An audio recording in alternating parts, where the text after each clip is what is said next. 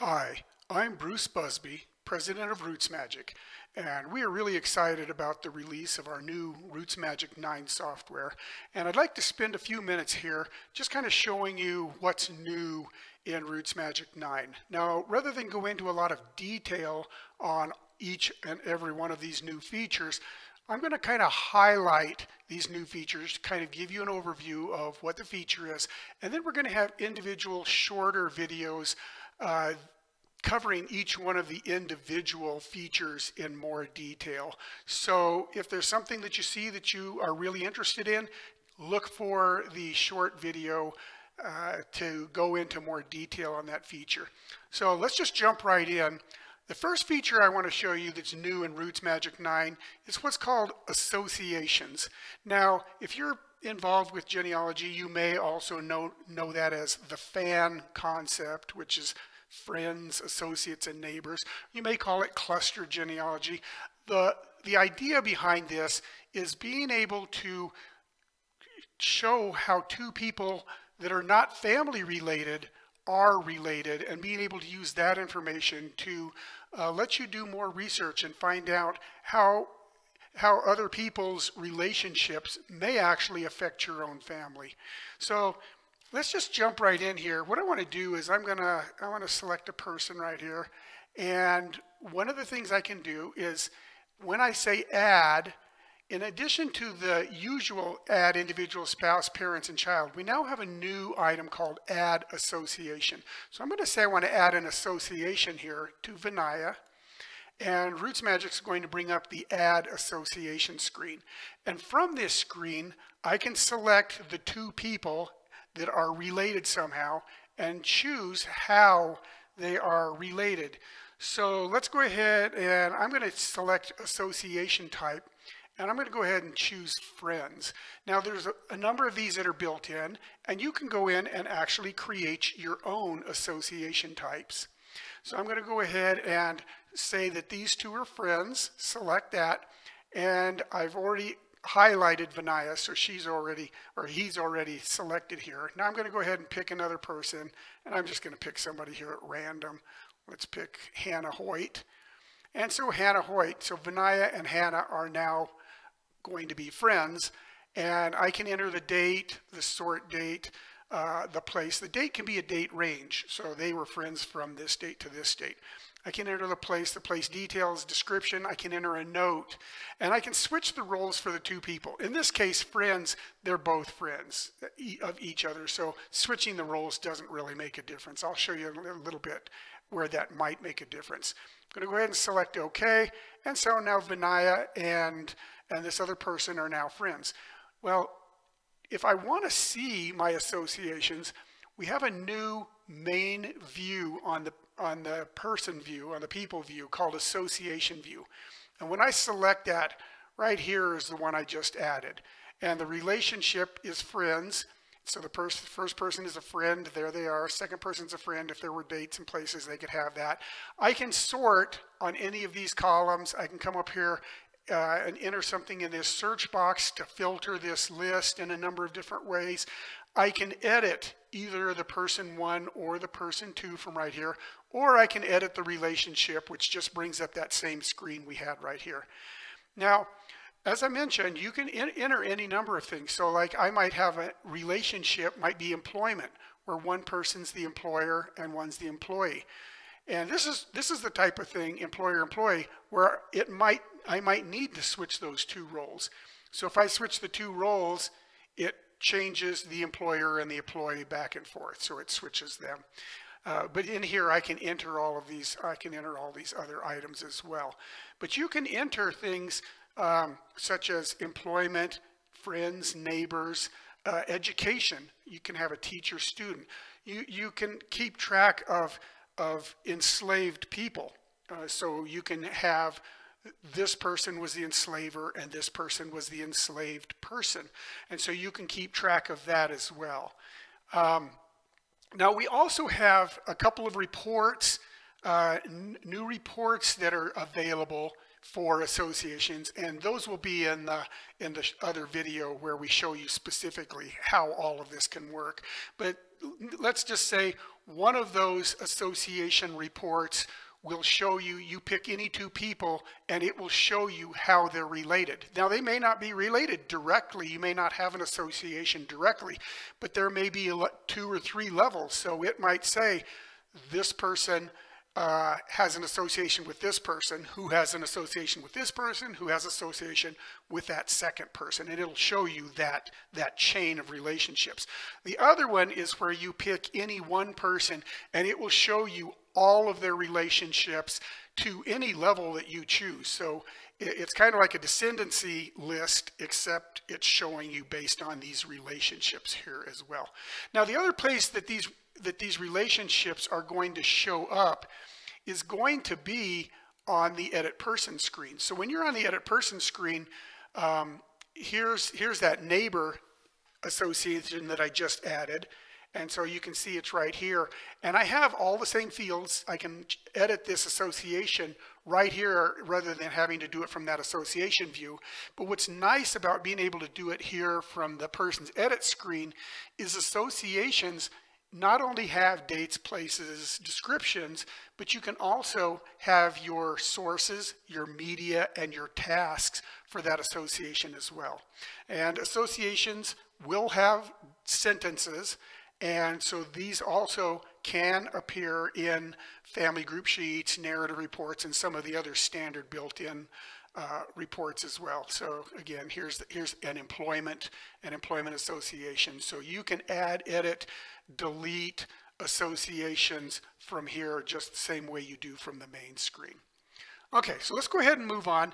The next new feature in version 8, uh, or in version 9, that I want to show you is the new enhanced color coding.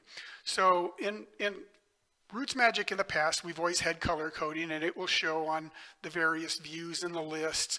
Um, but now, here's one thing that's new. When you point at the color, right there you can see Wars, Revolutionary War. Okay, if I point at blue, Wars, Civil War.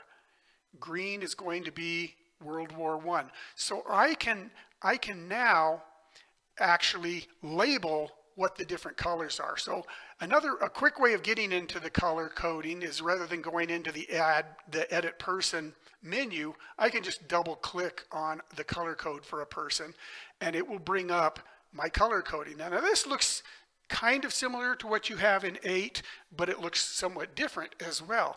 You'll notice right here that I can give my color code set a name. I, am color, calling my color coding wars. And then each individual color, I can give it a name. So in, in this case, I wanted to call red Revolutionary War, green World War I, blue Civil War, purple World War II. If, as I added other wars, I can assign them to different colors as well. Now, this part of the screen right here works just like it did in the past. You select any group of people, ancestors, descendants, people from a list or whatever, and you can apply the color that's selected over here. You just pick any color over here, and you can apply that color to whichever people are selected. And it works just like it has always has in the past. Uh, you can assign colors that don't have a name. If, if, if, it has a name, great. If it doesn't, it, you don't have to. Now here's, here's my favorite feature. One of the things you can now do is you can have 10 different color code sets. So in the past, if you had color coding for some set of data and you wanted to temporarily color code stuff, you had to wipe out your color coding you had before and you set the new color coding and then when you were done you had to go back and reset it back to whatever it was. You had to go select the people and all of that. Now you don't have to do that anymore. I can just come in here and i can select a different color code set. This is one i called ancestor lines and i gave four of the colors the, the names. And so i just say i want to change that color the current color code set to that click ok bam and i'm now using this new color code set. When i hover over it you'll see ancestor lines, paternal grandfather. I can come down here, paternal grandmother, purple is maternal grandmother, and of course the, the blue, that's paternal grandmother. And so I can go in and I can create, again, like I say, I can create up to 10 different color codes. If I collect, say I want to do this third color code set, I can come in here and I can give it a name. Maybe it's only temporary, so I might not want to give it a name. And maybe I don't even care about giving it, um, giving the colors labels, but I can. And so when I set color code set three, I close and nobody's color code is set with color code set three. So you can just switch back and forth between any set of color coding you want. I'm to go back to ancestor lines. That's the one I'll leave it with. And there you have it. Set, you're setting the color code lines there as well. And you can do things like search based on color code and, it, and pick which color code set. Um, all kinds, all kinds of fun stuff that you can do there. Okay, let's go ahead and one of the things that you may have seen if you if you're looking at the screen is we have a new menu item over here on the left called Tools. And when I select Tools, it's going to bring up a list of a bunch of tools that are built into RootsMagic. Now, a lot of these are tools that are already in RootsMagic and you've played with them and used them before. They're in various views, people view, place views, whatever. And we categorize those here. So you've got your, you've got your database tools here. You've got person tools, group tools, fact, place, media. But some of these tools are new. Some of these tools are new. So like the database tools, these are already all in there, compact, rebuild. This just gives you a good place to keep them, keep them together, keep all your tools together. So if you want to just quick way to get to them, you come in here and then whichever is highlighted, it tells you about it. You click run the selected tool and it runs whatever tool is highlighted. Okay, the ones that I'm going to, I'm just going to quickly mention the new, the new ones. And again, we will have separate videos to go into more detail, rearrange children and rearrange spouses. In RootsMagic uh, 8, you can rearrange the children or spouses for a family or a person. This actually lets you rearrange the spouses of every person in the file or rearrange the children of every person in the file automatically. And it warns you, you be careful because if you don't have a birth date, you know, they may sort to bottom and you, you may not like that. So it's warning you there. Okay, one thing people have been asking for for years is the ability to delete a group of people or delete a bunch of people, like delete a line. Well, we now have that in here in the tools. You can delete everyone in a group. So you just come in here and select which group you want. And then when you run the selected tool, it'll give you a warning, you know, do you really want to do that? And it'll tell you how many people are potentially going to be deleted. But that will delete everybody in that group. Okay, so rather than, rather than have you select people and then hope that you selected the right people and didn't accidentally select any wrong people, you basically can just delete a group. So you can go in and look at that group and make sure it's exactly who you want before you do that. We also have the ability to let you combine groups. So you, go, you can go in and select two groups enter a new group name because it's going to combine those two into this new group and then you select how you want them combined.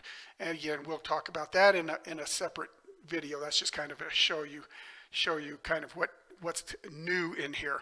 Okay you can also now change a fact type for everyone. So if you've ever wanted to go in here and change uh, baptisms to christenings for example you can do that, select run the selected tool. Again, it's going to ask you to confirm that, but that will change every baptism you have in your file to christening. Okay, we also have the ability to remove a particular fact type from everyone. So if you ever had uh, a file you imported and it had a bunch of reference numbers that you didn't want, you can now select reference number fact type, run the selected tool, and RootsMagic will go and remove that fact type from everybody in your file.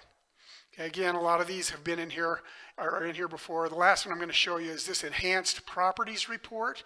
Now, you've always had the, the ability to see the properties right here, and it just shows you how many people, families, events, the basic stuff. Okay, well now we have an enhanced properties report that when you do that, it gives you the number of people, names, families, all of that, but it's showing you additional. Like for people, it's showing you how many are male, female, how many have an unknown sex, how many alternate names you have, how many families you have with only one parent or families with no children, and so on. Events, you got how many are proven, disproven, disputed, how many witnesses you have, how many events you have that don't have a source. Um, how many associations? How many associations only have one person? They don't have how many places unused, um, how many place details, how many temples, how many places you have that are not geocoded. Some of these items uh, have the ability to click to view a list. If you want to see a list of um, your unused media, okay, you got 72, you've got one unused media, I can click on that and boom, there's my unused media.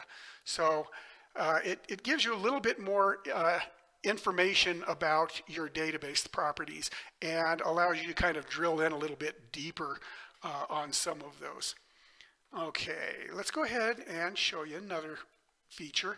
This is a feature we've actually had a lot of lot of requests for, and that is um, on, when you're in the Edit Person screen now, you'll notice that there's a little side menu over here now, and you can actually click the little arrow if you want to see the see the actual text for what they are. But the, this the first tab is the your edit screen as you've always known and loved it. The second is your media album for the person. Okay, so you can come in here and and bring up, let me go ahead and bring up a person that's got a little bit more.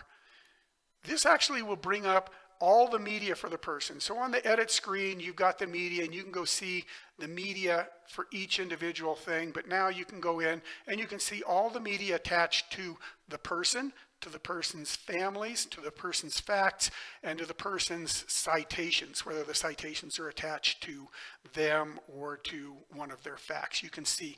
And right now, it's showing all media.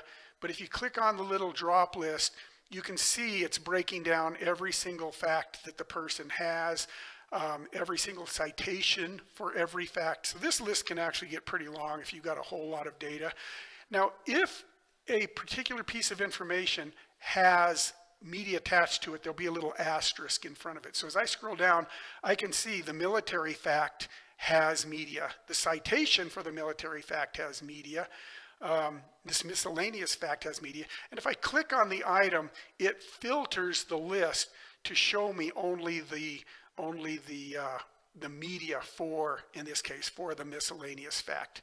And the the search the search filter works works regardless of whether you're looking at all media or whether you're looking at specific media. You can still use the filtering uh, there as well. You can also now come in and sort the media and when you do that, it shows you all the media for that particular, you know, that general person or that fact or whatever. If there's more than one uh, image, it allows you to come in here and rearrange that media in whatever, in whatever order you want that media to be in. Okay. Um, other, other than that, the media, it works very similar to the way the actual media, media tab uh, works there as well. Okay, now I'm going to show you one, another new feature under search. And this, this feature is probably, probably the feature that's been asked for for the longest amount of time, going all the way back into the family origins days. And that is a feature we now call saved searches.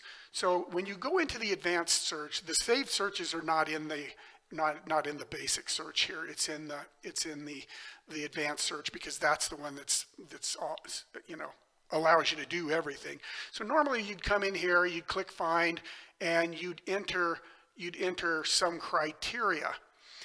Okay. Well now when you click on saved searches, you can now say I want to create a new saved search, and if you do that if you've already got a saved ser a search defined over here, as I do, birthplace contains Boston, there it already pre-fills that in for me. I can change it or whatever and click OK.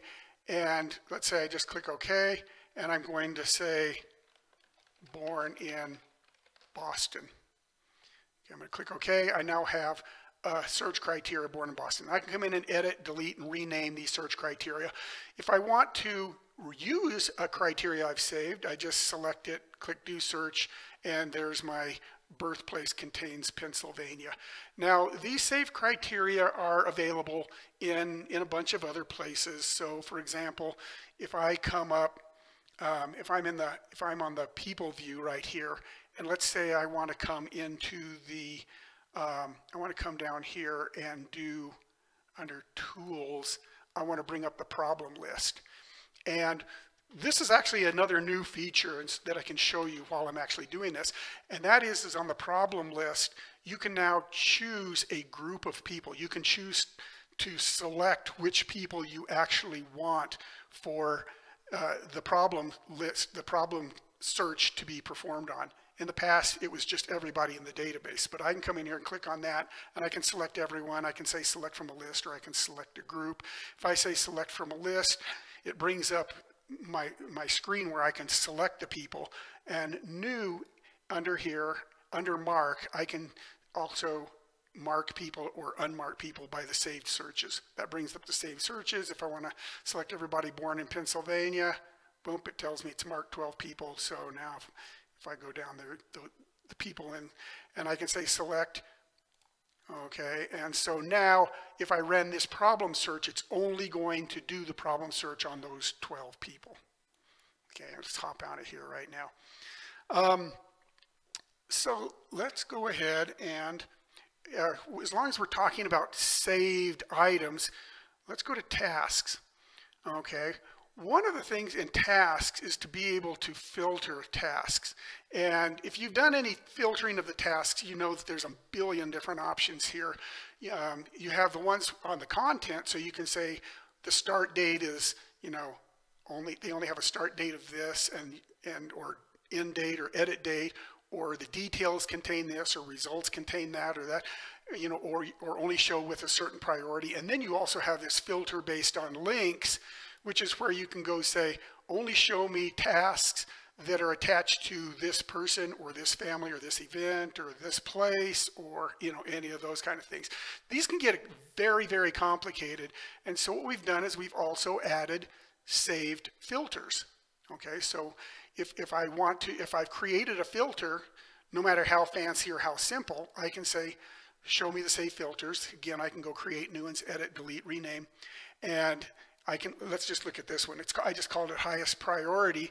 Um, it's basically only priority one and only, it, it, has to, the, the details have to contain the word the. I did that to filter it a little bit farther.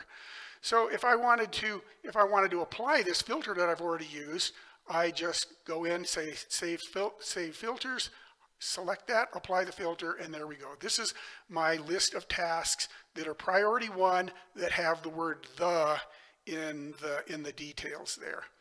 And so like if I went back into the save filters, I could edit that. I could take this out and say don't filter by task details.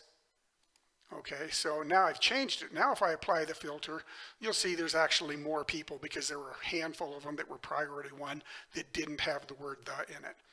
Anyway, so so that that's another uh, time-saving time-saving feature that we've added in version 9 is that ability. There's no limit to how many of these filters, how many of these filters that you can that you can create. Okay, I'm going to show you another feature here. I'm going to go into citations and I'm going to pick up just I'll pick this citation. And when you're looking at a citation or media or tasks or addresses, over on the right side, it, you'll, you'll, you'll usually see a thing that's showing you how many places that citation, media item, task, address, repository, how many places that's used. And if you click on that, uh, in most in, in version 8, basically it gives you a list and that's it. Well, now you now have the ability to, from any one of those, like I say, places, sources, citations, media, task, address, repositories, you now have the ability to add another link to this citation or media or whatever, or remove this link from that citation, or uh, edit the link, you know, I can change it to a different person or whatever without having to delete it first, or I can actually just edit the item. So if I'm looking at this person, I click that and I am now can edit the person. It selects the person. If I happen to be on marriage and I click edit, brings up the person, except it highlights the marriage fact. Same thing with uh, death. If I'm if I'm looking if I want to see this Elizabeth Wade's death that is using this particular citation. I just click the little pencil and now there's that particular, even though there's two death facts, it knows which one it is. And I can actually look and edit the information for that citation directly from this screen. And again, like I say, I, that, this is now available in places. It's in available media, tasks, addresses, and repositories as well. Okay. Kind of like I say, I'm kind of going through these real, real fast. Okay, the last kind of big feature that I'm going to show you here is going to be is going to be groups. And if you are in groups, I'm going to go ahead and over here on the side, I'm going to select this little groups tab and you can see the groups. Well, in the past, if I clicked on add to add a group, it just asked you for the name of the group. You'd enter the name of a group and then you could select manually the people that you want in it. Well, groups are a little bit better now in that when I click on it, I can enter the name of the group and I'm going to call this uh, super group call it whatever you want. And by default, it's a free-form group, which is the way groups have always worked. And if it's a free-form group, I can go in here now and I can select the people I want. And again, I can, I can do it using a saved search if I want. I can click a saved search and select the people uh, that I want. But the new option is this one, saved criteria. And so if I want to do this, I can go in and I can say, I want this group to be saved criteria. So I'm going to set the criteria and I'm going to come in here. I'm going to select birth, place, contains Boston. Okay? And this can be as fancy of a, of a criteria as you want. It's not limited to just that. So I did that and you'll see now that it's showing me eight people were selected via criteria. So I'm going to go ahead and save that. And now my supergroup, as I move through, as I move through, or if I go into, if I go into my people list right here and pick that supergroup, okay, there's my people, there's my eight people that were born in Boston. Okay, now here's one, here's one thing, and this is, we, we, we met consciously made this decision for performance reasons. Um, if I go in here, if I go to somebody here, I'm going to go to Hazel. And I'm going to change Hazel's birthplace to Boston. Okay. So I'm changing Hazel's birthplace to Boston here. Okay. When I go in and look at my supergroup, I'm going to go ahead and edit it. You'll see it still says eight people. Okay. So even though even though this group uses a criteria, it's not going to automatically, every time somebody changes, it's not going to automatically add or remove them from a group because performance-wise, that, that'll kill the performance of the program. But you have a button right here, refresh people. And so I don't have to go in, I don't have to go in and re, you know, in the past, if you added people that would match some criteria, you had to go back into the group, you had to clear everybody out, you had to then re-enter the criteria and click it and do that. Now I don't have to do that because it remembers the criteria, so all I have to do is come and refresh the people, and so now nine people are selected. So you can go in and you can make whatever modifications you want to your database, just come back into the group, say refresh the people, and that group of people uh, that, that group of people now has your updated, is updated based on your criteria there. Again, we will have, we'll have another video that will go into a lot more detail on this as well. Okay, let me show you a couple of real quick things before we wrap up. Um, here's one. This is something that's been a popular request. Over here on the side, we now have the family list. And so as you move from person to person, it's going to show you the person's spouses, children, parents, and siblings, all, all just in a nice little compact list. You can always see it up here, but we had a lot of people who enjoyed this from older versions where you can just just all, all right there, all in one spot. Um, and if you click on the little arrow, if you click on the person, it just highlights them in the list. But if you click on the little arrow, it switches to them here in the main view. Okay, another thing that's new is we have um, we have completely, we have completely redone the note editor. So we've improved the performance, we've improved uh, just the way it works overall. Um, we know that the, the, uh, the older note editor, which we had to use at the time, uh, has some issues. This new note editor is much faster, much cleaner. Um, we've also added to the note editor spell checking. So you can bring it up. Uh, it, it, works. It works just like your typical spell checker. It'll show you the word that's whether it's there or not. You can ignore it once, ignore it all, or you can add it to the dictionary, or you can select the a suggestion and change it once or change it in every place right there. Um, this dictionary, this spell check, this spell checker uses the spell checker that's built into your operating system. So if you're using Windows, it's using the Windows spell check engine. If you're on the Mac, it's using the Mac spell check engine. So if you want to actually edit that spell check dictionary, you just go in and edit the the Windows or the Mac spell check dictionary, and we provide we'll provide information on on where those files actually are, so that you can so that you can do that. Um, another another feature we've we've put in here um, is the uh, is the ability to create the the plain old HTML websites. So under Publish, you can go in and select the plain old HTML websites. These are the ones from like version six of RootsMagic and earlier. Um, we've we've done a little bit of enhancing to them, but it's basically it's basically to give those people who are used to just being able to generate just a generic HTML with the CSS uh, styling um, sites. It's just it's just the ability to be able to to do that as well. Uh, again. Okay, the last thing I want to show you is I'm going to go to the, the person list screen. Oh, and I'm going to go back to everybody.